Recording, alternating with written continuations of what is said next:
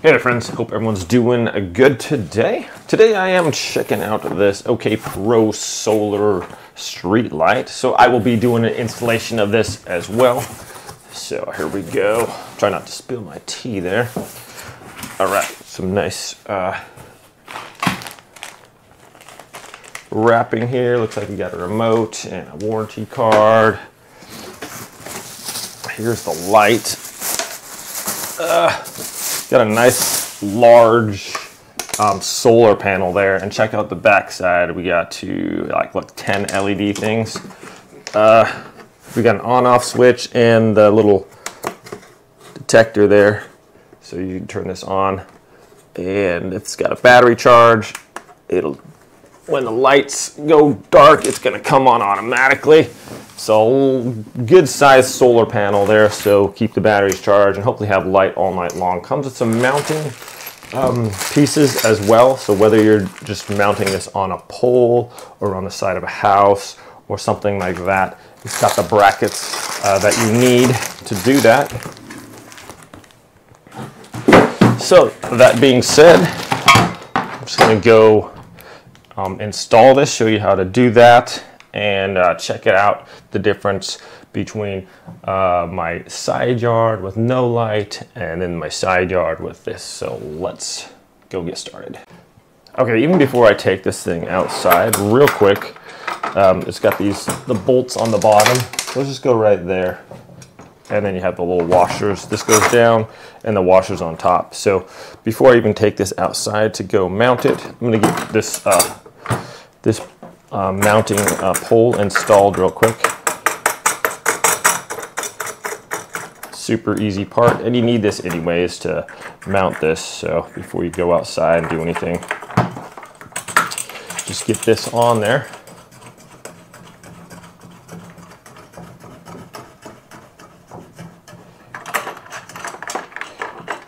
I'm just pushing up from the bottom because it's got the plastic um,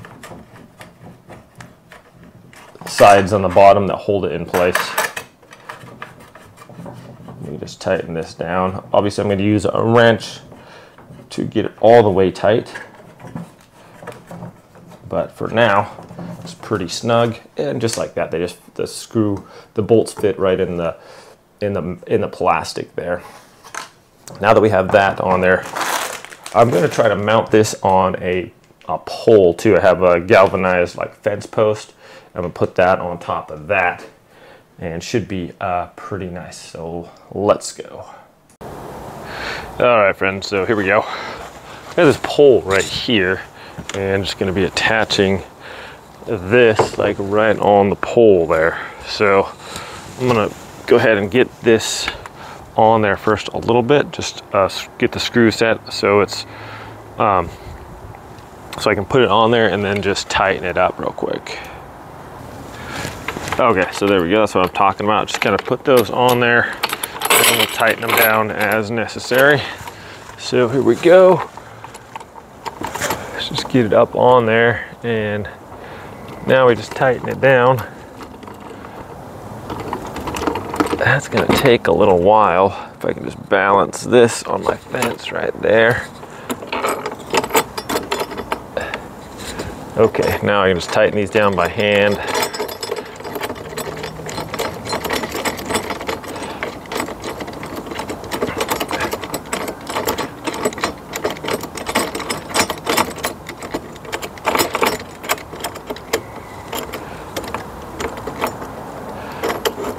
One. Oh, there we go, that's fast.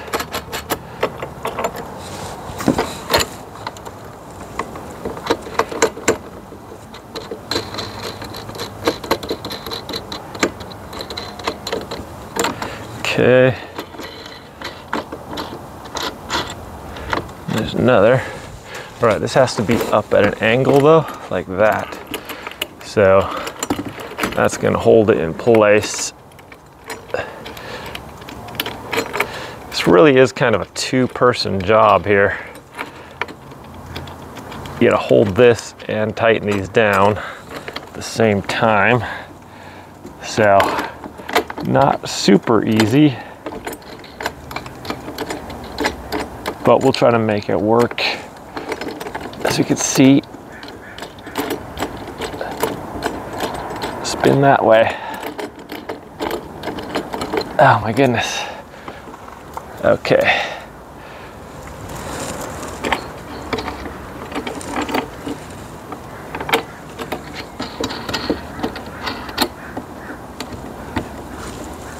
All right, we're getting there. So hang on a second.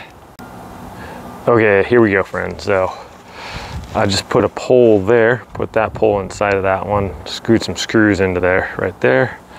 And we can adjust this pretty much as high as we want, but there we have it right there. And it's gonna illuminate my uh, back area and side yard here nicely. So um, I got the little light flashing up there. All I have to do is basically wait for nighttime now. So I got a little bit thicker pole up at the top, screwed those in, and so far looks like it's gonna be really good here. So we'll show you what it looks like at nighttime. Okay friends, here we go. It is nighttime now, obviously, and it's at 10%. I just put it on the motion activation button, and here we are walking up to it, and there we are. As you can see, now my whole uh, front yard here is nicely lit up as well as the, this whole side yard here. So very, very nice. You can see how bright it is. I just put it up probably, it's probably about uh, eight foot, six foot fence. It's about 12, 14 feet up there. So it's pretty good height. And I can make that with that pole the way I have it, I can make it longer if I want to. But you can see back here, plenty of light so we can see if we need to go back through the fence here. And um, yeah, it just works really good. I like it a lot. You can set the remote for different sensors, but I like the, just the motion sensor where it's on at 10% and then it comes on to full power after that. So I'm gonna go come in this back way and show you guys um, how much light is at 10%. And then you can see how um, sensitive the trigger is though. Um, I was quite a ways away and it just lights up right away. So really cool. All right, we'll show you from the backyard portion. All right, my friends, here I am um, on the side yard here. Let's get a little closer. That's at the 10%. So enough light to see where I'm going and stuff. And then once we just come around the edge here, boom, there we are illuminates the whole area really nice. I'm super happy with this. I like how responsive the uh, motion sensor is. Uh, even at 10%, it puts out enough light where we can see. And then there at 100%.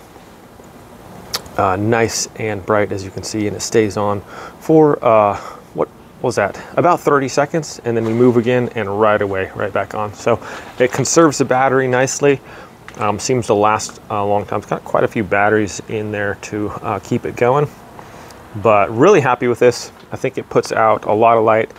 Um, the, the remote has a bunch of different features and we'll go over that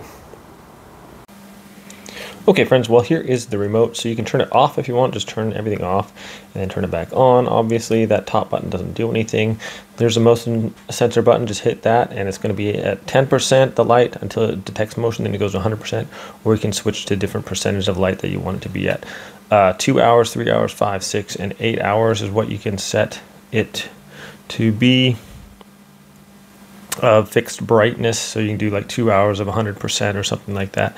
And then after that time, the two hours expires, it'll go back to the motion sensor with a 10% and then 100%. So pretty cool. Um, the remote works nicely as well. It takes a couple uh, A batteries in there. And all in all, I'm really happy with this, working great so far. So thanks for watching, my friends. Have a great day. I'll see y'all next time.